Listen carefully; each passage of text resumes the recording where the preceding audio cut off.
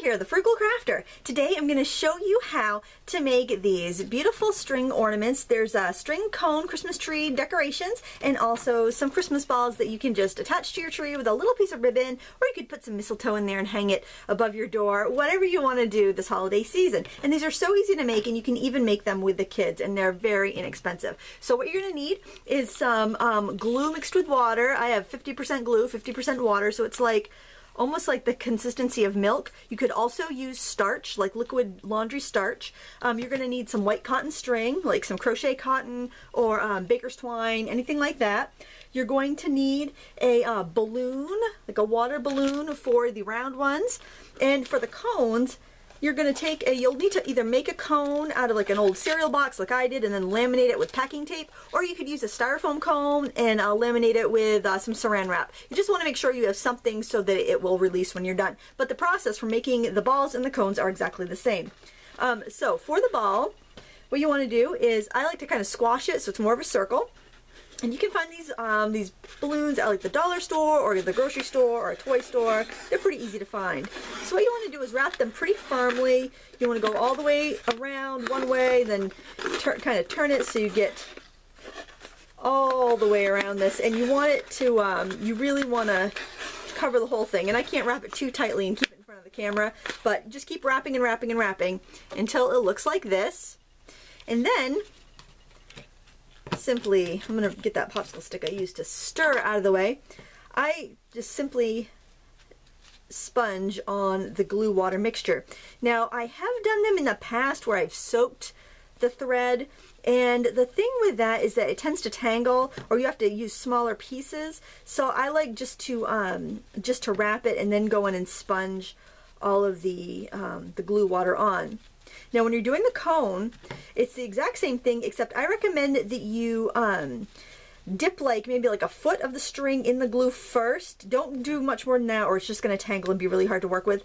Dip about a foot of the um, the string in the glue and then start wrapping. And that will give it enough um, grab so that you can keep grabbing. Because otherwise the string when you're when you're wrapping it wants to creep up the cone so that if you add the glue first to like the first foot or so it'll be fine. Just make sure you thoroughly cover whichever one you're doing. Make sure you just thoroughly cover it with glue and it's really easy to see if you use a sponge brush because it kind of makes it bubbly and don't worry it's not gonna you're not gonna get like glue on the inside of the between the lines or anything because it will just kind of dissipate um, but you'll be able to see where you put it then save like a little like a yogurt cup or um, this was like an applesauce cup from the recycling and just set the um, thing in there to dry. You can also use these plastic egg cartons. They work really well for letting them dry if you have a bunch to do. And then after about a day, flip it over because you'll notice that it's still wet on the bottom. Flip it over so that part can dry out. And then when that's all dry, and with the glue and water, it only takes about, I would say, a day and a half, if that. When it's all dry, you'll have something that looks like this. I used a blue balloon, obviously. You want to go in and just pop the, um, pop the balloon. Sometimes you have to do it in a couple different places. You can hear it separating from the string. Actually, use that. Um, Here's my little stick there. Just make sure before you pop it that you don't have any soft spots. All the other balloons from all these other ones came out in one piece, so watch, this will be the one that, that won't. Get out of there. Probably I left, I did leave this one on longer. Oh, no, it's coming.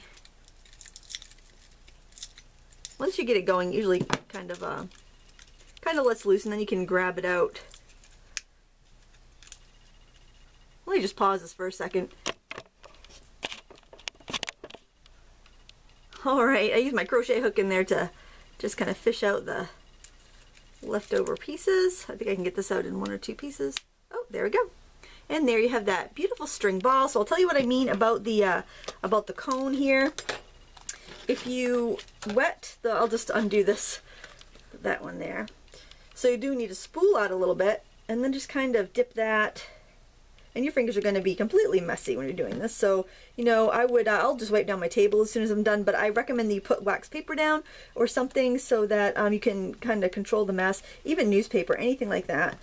Um, and then you can start wrapping around the cone and it's going to grab. If you don't put the glue on it's going to slide around and you'd think that slippery wet glue would make it slide more but it doesn't. It, it gives it it gives it a little grab and then it actually helps the uh, the upper layers grip to it and then you sponge on the glue. You still need to sponge on the glue at the end but um, it's much easier to handle that way. So you just keep, again, doing that until you've got it completely covered, sponge on the glue, let it dry, and then if you just give it a little squeeze the next day, then you can, um, then you can slide it off and it will look like that. I hope you found this tutorial fun and helpful, and I hope you try it with your kids, um, or even just on your own, because it's really a fun craft. I think they would sell really well at craft fairs too. They only take a few minutes to make, not counting drying time, of course, but I think you could sell them for a couple bucks each at a craft fair and still make a pretty cool profit.